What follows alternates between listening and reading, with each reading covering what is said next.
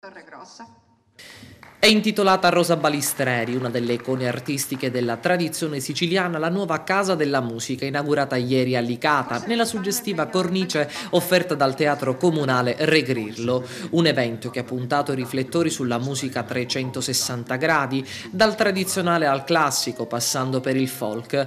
Hanno presenziato eminenti personalità del mondo artistico-culturale del settore che, con la loro presenza, hanno voluto dare un valore aggiunto alla manifestazione. Per noi ricevere tutti i complimenti e avere trasmesso quello che insomma, abbiamo trasmesso questa sera con gente che ci è venuta a trovare a dire siete eccezionali, ci avete trasmesso delle grandi emozioni, per noi è il risultato no? di musicisti, quello che, che, noi siamo e che cerchiamo sempre di, di comunicare con gli altri, perché poi eh, alla fine la musica è un linguaggio universale con qualsiasi strumento si può eh, spaziare a qualsiasi tipo di musica, l'importante è dare, insomma. È... La scuola della musica di Licata, diretta da Berta Ceglie, nasce su iniziativa dell'amministrazione comunale di Licata in collaborazione al prestigioso Conservatorio Musicale Vincenzo Bellini di Palermo, ad opera del suo direttore Daniele Ficola. Sarà un luogo deputato allo studio e l'approfondimento dei vari strumenti musicali, oltre che punto di ritrovo per tutti gli artisti del territorio. Il mese di gennaio del 2011 ho cominciato a lavorare a questo progetto progetto di apertura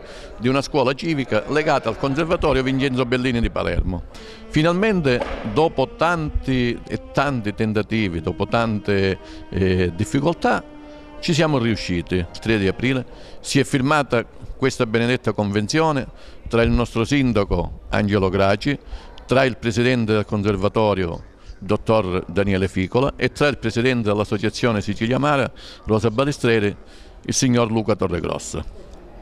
Questo obiettivo noi l'abbiamo raggiunto, ora lo deve raggiungere pure la città.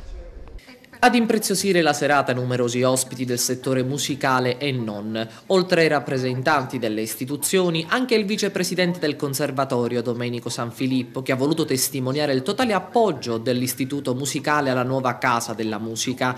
Il palcoscenico del teatro è stato calcato da numerosi artisti, produttori ed anche celebri autori musicali come Gianni Belfiore, scrittore di canzoni assai note al grande pubblico, come la celebre Se mi lasci non vale, portata al successo dagli Julio Iglesias, dando così il loro contributo a questo evento di grande caratura artistica. Il primo disco con Rosa Balistreri eh, era come se io le trasmettessi eh, la canzone come doveva essere cantata, cioè c'era un contatto radio fra cervello e cervello suo e la voce, una cosa bellissima. La stessa musicalità c'è nelle canzoni siciliane, nel sonetto in musica che risale a Jacopo D'Alentini del 1100 quindi però il grosso oh, vantaggio che ha è che ogni frase è un pensiero compiuto per cui non si perde l'ascoltatore, perché la canzone è un messaggio pubblicitario, cioè è molto più serio, è una cosa come un circuito stampato che deve essere perfetto.